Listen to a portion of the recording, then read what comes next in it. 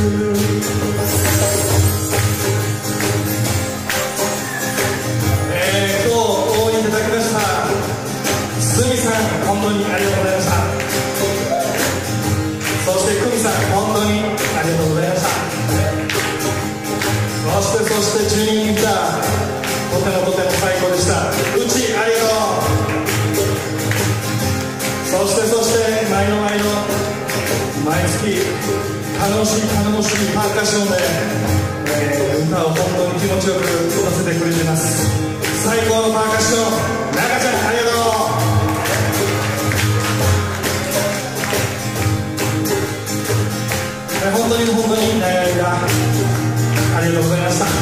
また来月お会える日を楽しみにしております。本日はどうも本当に